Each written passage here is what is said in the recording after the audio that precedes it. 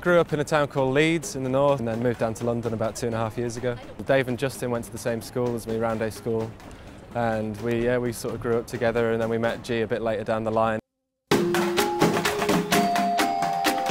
Me and Chris have always um, written songs together and sung together. We've got sort of two different styles that we, we figured out work together.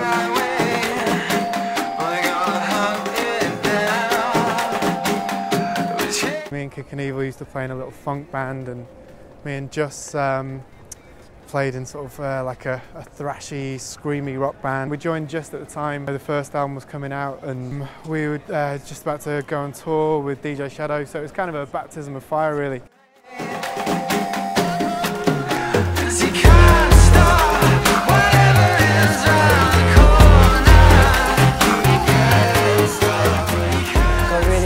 Hip hop when I was about 12 or so. It's just through wanting to figure out how they made this music. And I used to DJ around Leeds at various nights and those guys, Chris and those guys used to just come. And then Chris heard some of my beats, started writing some songs, grew naturally from there, I guess. We entered this um, unsigned competition on Radio 1 and our track, our demo of a track called Prism got picked up and it got C-listed so we got got um, loads of plays on Radio 1 over about a course of three weeks and that led to our first major record deal with Sony. Once we'd signed we got shipped off to a studio called Rockfield and we were working with a producer called Jim Abbiss who's a really cool producer. We recorded our debut album with him and then that led on to um, working with DJ Shadow. We signed with Ninja Tune about a year and a half ago. We're just happy to be part of the team now, which is uh, going to take hopefully Stateless forward to the next level. Matilda is, is different to the first album, I would say largely because the songwriting's changed a lot. It's a lot more character based, it's a lot more of a, a story and a journey. It's quite a lot kind of East European and gypsy influences. It's a bringing together of, of new and old in terms of musical styles. A bit dark in places. It also has changed sonically a lot because we've kind of moved away from organic sounds and moved a lot more into electronic soundscapes.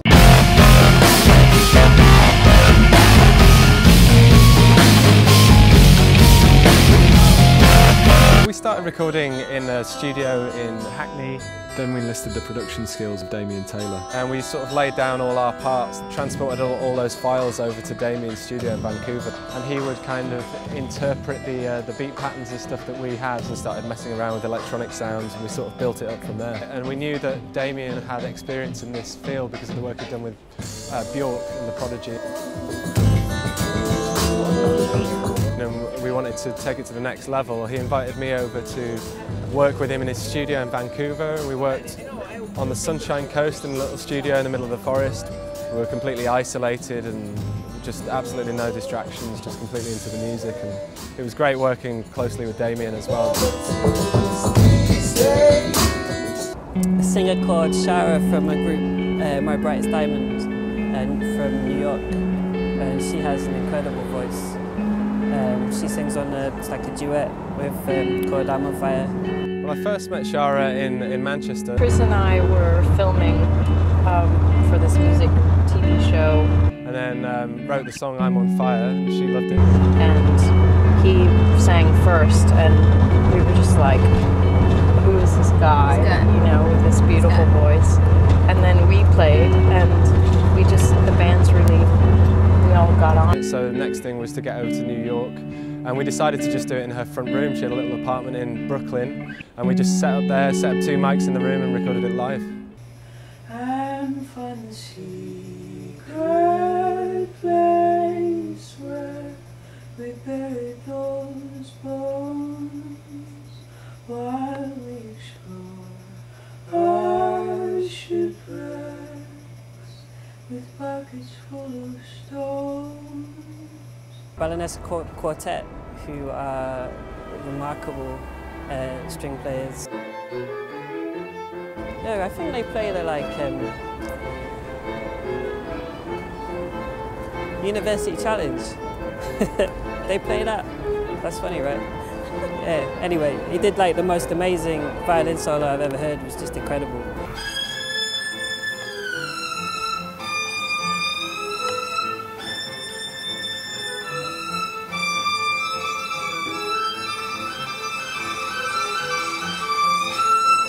The whole idea of sort of dancing with the devil is something, sort of a theme that, that runs throughout the album.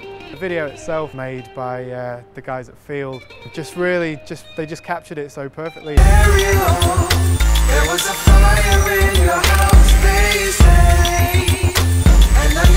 to be a soft game. Ariel's a story about the goddess of healing named Ariel who is um, fighting out this sort of eternal battle with the devil.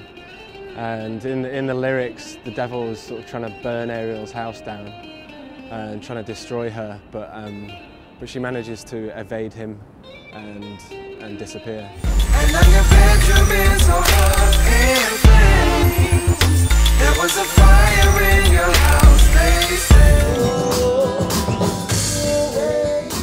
It's been great performing the album live for the first time, and we look forward to touring the album worldwide.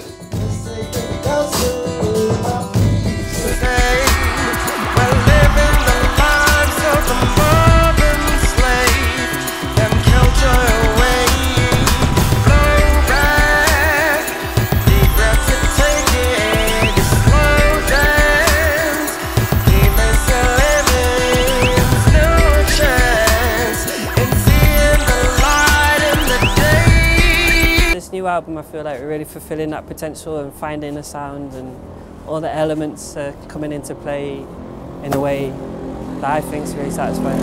Because I can't stand my visions and sleep my mind. Next for Stateless is tour this record, write new material, keep on building on what we've built so far and get bigger and better. Just take soul visions and transform we are touring in Europe. It's a whole new live show. We are, we are